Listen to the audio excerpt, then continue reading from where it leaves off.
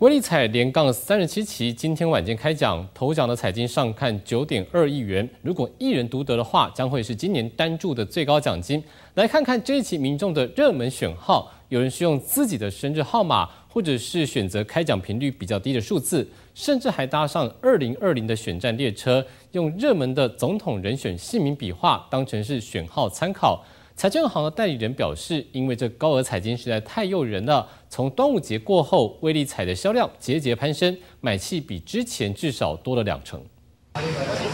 即使外头下着大雨，彩券行还是生意枪枪棍，因为上期威力彩又共估了。来看看上一次威力彩开出头奖是在二月二十八号，台中一人独得五点二亿元，之后就连杠三十七期。如果这一期七月十一号开出头奖又是一人独得，有望报回今年最高彩金九点二亿元。中九点二亿的话，心情会怎么样？哦，太欢了，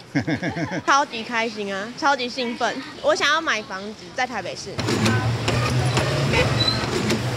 民众冲着超高彩金上门，彩券一张接着一张卖，短短十分钟内就有约十位客人都是要买威力彩。彩券行代理人透露，这次的热门选号跟之前很不一样，拿出特别做的时事总统牌，看看上头有蔡英文、柯文哲、郭台铭、朱立伦和韩国瑜，搭上二零二零选举话题，这些热门人选的姓名笔画数成了部分彩迷选号依据。除了总统牌，其他像是生日号码或是第二区开奖频率较少的数字，也是部分彩迷的。选号参考前三期的那个第二区号码，比如说如果开一二三的话，他就会想避开一二三，就会四五六。销量就是从端午节到现在，就是每期都会有成长，就是慢慢有成长，这样就是大概好都是两成左右。不少民众试试手气，就是希望财神爷眷顾，成为亿万富翁。记者杨祥云、林昭贤台北采访报道。